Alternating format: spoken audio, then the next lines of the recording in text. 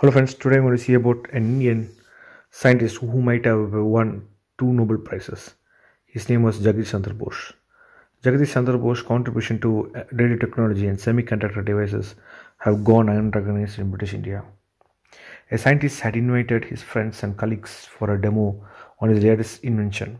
His experiment was to show that a radio wave can travel through a wall and make a bell ring and a gunpowder to explode.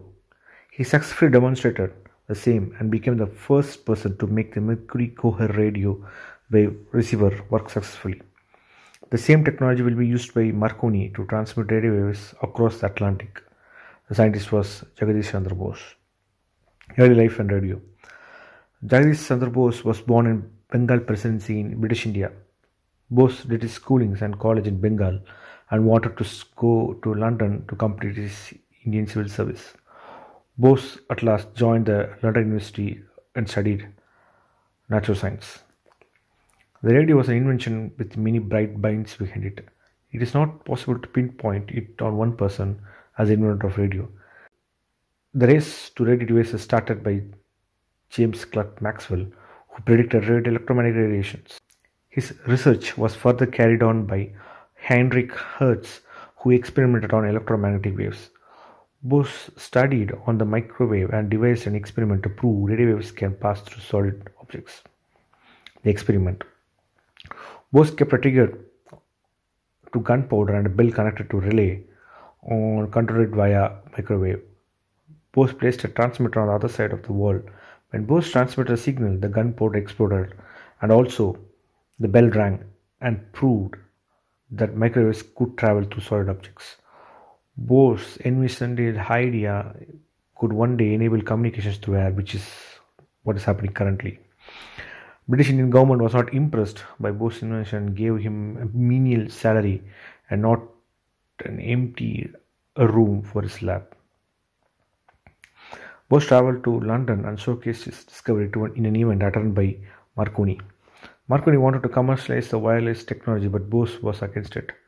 Bose invented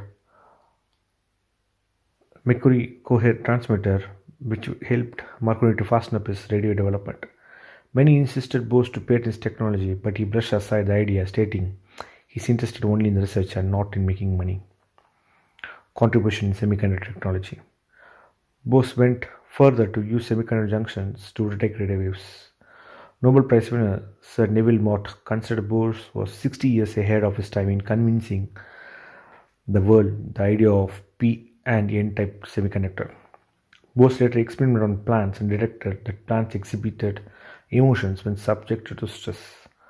Bose's contribution to radio technology was kept in the dark and kept to light only recently. Marconi's grandson, Francesco Marconi, is now on a quest to award Bose the required recognition for his contributions to science. Marconi, though adopted Bose's idea, and never credited him. Bose faced racial discrimination of the period and his contribution to science was forgotten by many. Recently, Bose's invention had featured a scientific milestone in IEEE, the first Indian scientist to receive such recognition. IEEE gave the title Father of Radio Science to Bose. A crater in the moon was his name. If recognized at the right time, Bose might have won two Nobel Prizes, one for research on radio waves and another for his contributions in semiconductor. If you like this video, please like, share and subscribe. Bye friends.